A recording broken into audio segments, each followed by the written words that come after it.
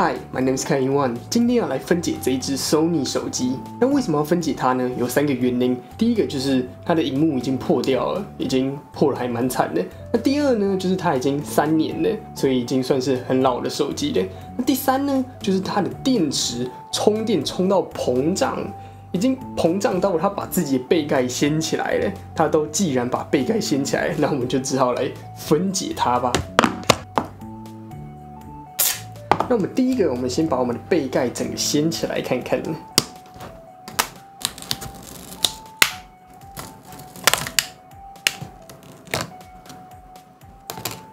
如果你是 Sony 的老用户，你就知道你 Sony 手机用一下下，它就会变超烫，那就是因为它后面加了很多很多的散热的东西在上面，像是这里有散热贴片来散这些是。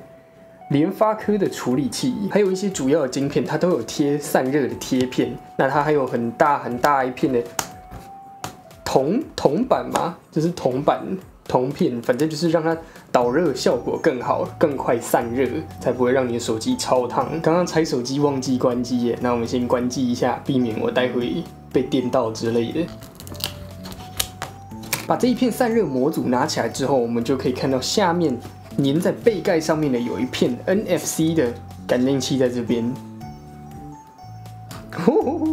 ，NFC 耶，这就是 NFC 的那一块。所以 NFC 就只是一个近距离通讯的一个东西，所以它只要这么薄薄一片贴在你手机背盖上面，你就可以有 NFC，真的很神奇。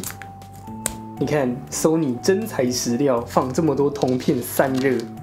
真是厉害，OK，那我们接下来继续分解我们的手机喽。我们先把我们的天线拔起来，电池的胶带也把它拔起来。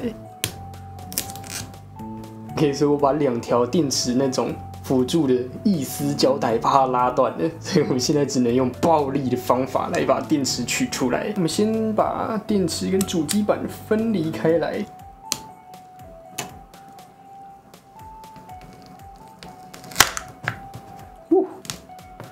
OK，我们把我们的 Sony 电池分离开来了，是三点一瓦小时的小小电池，这超小哎，这是三年前的技术，迷你电池。那 Sony 这一颗电池还蛮厉害的，就是它还有专门给它包一层，就是让你防穿刺的东西，就是如果你东西穿刺到锂电池，它很可能就会爆炸或者是燃烧，那它外面就贴了一层。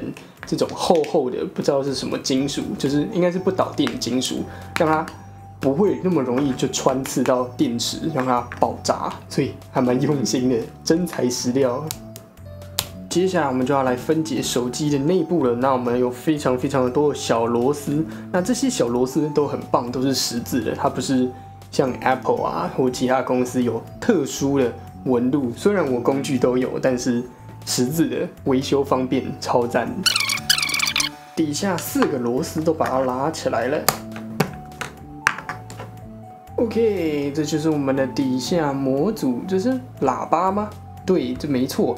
那喇叭跟下面这一块模组整个是合在一起的，所以要换喇叭的话，就是下面整片一起更换。那这个喇叭模组上面还有一些你通讯打电话的天线也在这个上面。接下来下面这一块就是我们的充电模组，所以它。如果你 Type C 充电孔被插坏的话，你就只要换这一片小小模组，你就不用连下面这个喇叭模组一起更换，这样维修算是非常非常好。而且这个 Type C 充电孔它整个插的非常非常紧，这应该不太会把它插坏啦。这整个做了很多层防护，避免你把 USB Type C 孔插久了会把它插坏啊，或者是插凹之类。这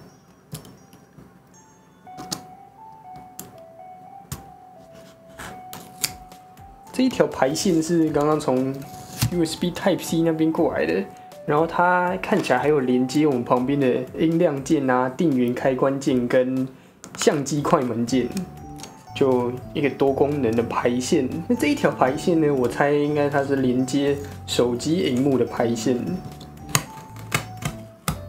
看起来应该是吧。那接下来我们再把上面这些螺丝拆开来看看。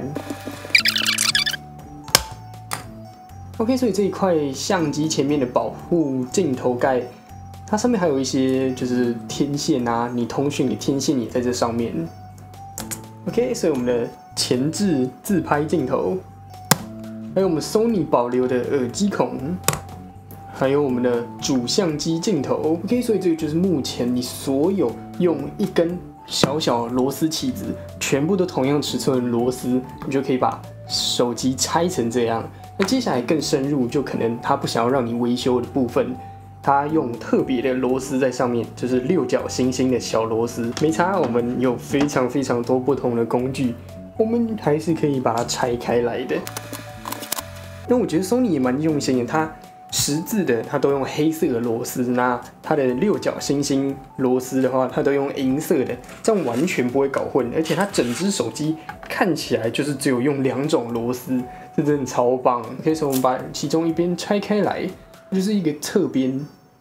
哦，哇塞，这个是，哇塞，这是金属边框诶，这金属边框诶，这真的真材实料。其中一边拿起来之后，我们就可以把我们的主机板顺利的取出来。所以主机板上面有一个麦克风，然后有光线感测器跟红外线距离感测器。哇塞，这个马达直接在主机板上面呢，这是怎么回事？这个马达也太可爱了吧！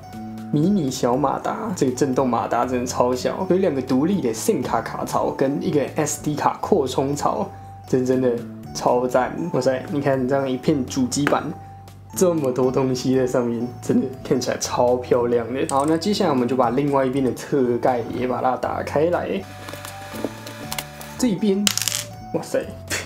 这下面这边看起来东西比较多，比较多电线，因为这边是有音量键啊、电源开关键跟相机快门键，哦，所以复杂很多。OK 啦，还是把它拿起来，看起来应该还是金属的，没错，是金属的，真材实料。OK，所以我们的电源键跟指纹辨识就在那里。OK，所以我们刚刚这一条多功能的排线，就是有供电跟我们的电源键啊、音量键跟相机键这一条多功能的排线，我们就可以轻松的把它拔起来。吼吼吼！这个非常非常复杂又精细的排线，手机上面这里还有一块散热铜片，非常非常非常多的散热铜片。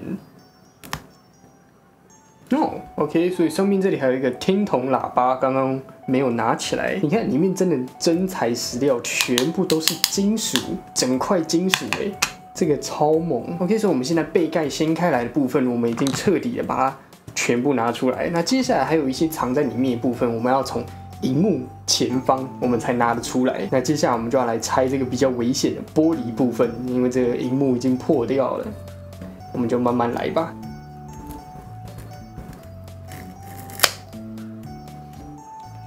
我们使用暴力就把它分解开来，还有我们刚刚卡在里面的一条排线也可以拿出来。的确，这一条排线是荧幕的排线。那我们就把这个破碎玻璃放旁边喽。哇塞，你看前面这块玻璃保护贴把荧幕还。玻璃的碎片都还粘在上面，超赞！前面这块荧幕就超级重哎，我也不知道为什么，它应该加了很多神奇的东西在里面。哇塞，你看这日本工艺，它是塑胶跟金属，它中间是用一个一个小小的卡榫把它卡起来的，而不是用任何奇怪的方式把它合起来，这真的超猛哎！哇塞，OK，那我们分解完这只 Sony 手机啊，你看超多神奇的，你看尤其是这个金属边框，我觉得这真的超猛哎，就是把整只手机不会让它变形或怎样，就是你坐下去它应该不会弯曲这么严重，因为它有两根金属的棒棒在旁边支撑它。然后还有这中间的整块金属也还蛮厉害的，这是 CNC 做的。然后还有什么很多的散热铜片，我觉得也还蛮厉害。你看还有这个散热那个小贴片也在这上面，还有我们的神奇的镀金排线这样子。好啦，那就差不多这样子。你看各种高品质配件加在一起，就变成一只 Sony 手机啦。OK，那这是我们今天的分解 Sony 手机的影片。那当然喜欢这影片，在订阅频道可以看更多的相关影片。这里有一个全部都是神奇影片的 playlist，make sure you check it out。My name is Kaiwan, and I'll see you guys next time. Bye bye.